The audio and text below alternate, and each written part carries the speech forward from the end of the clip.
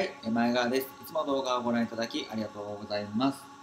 今日はですね、なぜ思った通りに物事が進まないのかっていうことについて、ね、お話していきたいなと思います。でね、なぜこの話をするかなんですけども、うん、あのやらないといけないことは分かっていると。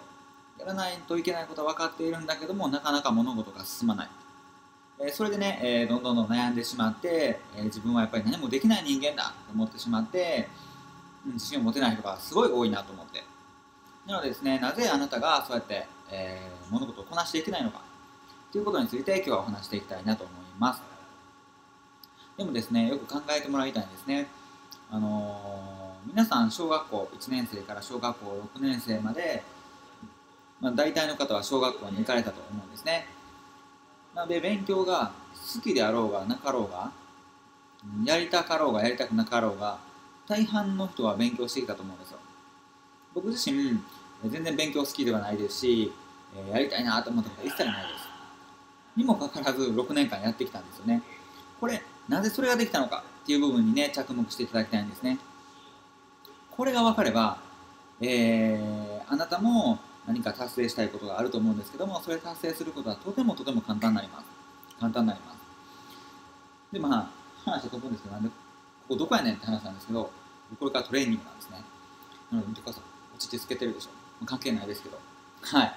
何の話だかな。そう。小学校の時勉強してたじゃないですか。も結論言いますね。なので、あなたもね、自分の時間割を作ってみてください。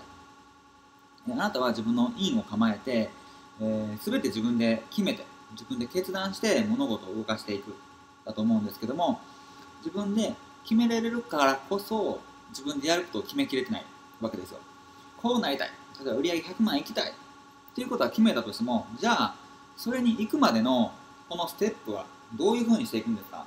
それ決めてますか？っていう話なんですね。例えばですよ、えー100万円行くためには、新規集客を20人しないといけない。そのリピート率6回目までは、えー50%にしないといけない。っていうのがあったとするじゃないですか。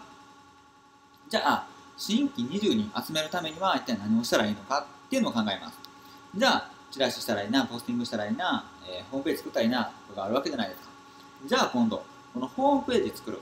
そのためには一体何をしていったらいいのかなっていう作業を書き出すんですね。じゃあもうバーって何十個、まあ、私何百個できると思います。じゃあ、それを毎日3つでいいです、3つ。3つでいいんで、1日絶対3つはこなすようにしてください。それをですね、えー前に進んでるのかどうか分からへんなと思いながらも、ぜひね、1ヶ月、2ヶ月、まあ、3ヶ月ぐらいやってみてください。1ヶ月で変化出てくると思います。確実に前に進みます。でも、今のあなたはなぜ前に進まないのかっていうと、テンション上がってる。気分いい時は、1日集中してバーってやって。でも、次、そうやって作業、仕事するときは、2週間後とか、3週間後とかなるんですよ。なので、結局、え結局、えやってることといったら、本当に1ヶ月で見るとめっちゃちょっと。でも、1日だけで見るとめっちゃやった気になってる。そんな感じの方がとてもとても多いんですね。なので、1ヶ月経った後、なんか自分頑張ってたのに全然結果出てないなってなるんですよ。それで、えー自分は何もできひんわって思って、どんどんどんどん自信なくしていくっていう感じにね、えー陥っている人がとてもとても多いので、その部分ですね、えー注意してやってみていただけたら、きっと、えー状況は変わり出すんだと思います。では、そんな感じで今日は終わっていきたいと思います。ではまた会いましょう。さよなら。